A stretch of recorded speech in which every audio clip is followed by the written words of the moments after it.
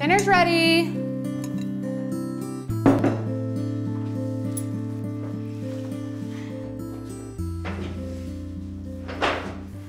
Wow, looks like somebody had a great day at school today. Not so much at school, but my walk home was awesome. Oh yeah, why's that? Well, first off, I found that lost cat that's been on all those posters everywhere. Whatever. They've been looking for that thing for months. Coyotes got to him. No, Dad, I got to him. I had to climb the big tree at the end of the street just to get him. Wait. You climbed the Grand Cottonwood? Yeah, and it was worth it for the $100 reward. $100, huh? Prove it. Let me see it. Well, I don't have it on me. Figures. Well, I did what you and Mom always told me to do, and I put the money in my savings account. Oh, I'm so proud of you. But that's not the best part. When I was leaving the bank, there was an armored truck, you know, the one that holds all the money? Well, the drivers must have left the doors open. So these two robbers were talking about stealing all the money. So they jumped in the truck and started grabbing as much money as they could.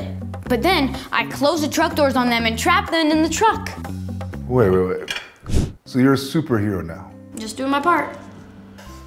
Right. But that's still not even the best part. The best part is that on my way home, I saw a burning house on fire. Really? Yeah, the owners weren't there, but there were about four or five dogs in the house, and they were barking out the window. So I grabbed a big rock and I threw it at the window. I'm not paying for that. Well, the dogs jumped out of the window, but there was one little dog that was too small and he couldn't he couldn't jump that high. So I ran in the house and I grabbed the dog and then it ran back out of the house right before it blew up. Honey, I really don't think you should be telling such exaggerated stories. Exaggerated? These stories are just unbelievable and flat out lies, if you ask me. Now, I don't know what's gotten into you, but if the owner of that house comes knocking on my door asking for money for a window that you broke, there is gonna be. It's probably them right there.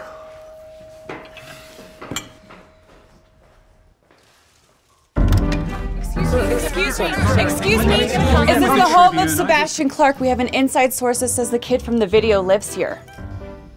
What video? This video. It has over 20 million views in just a few hours. Is that my son? Is, is that your son? Can you tell us anything Sir, about sir, can you confirm if your son is also the same boy spotted on a camera today trapping two bank robbers? Excuse me, coming through. Excuse me.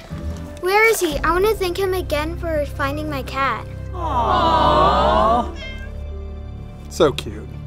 Sir, can you give us any other Sir, information I only have a couple of questions. Unbelievable.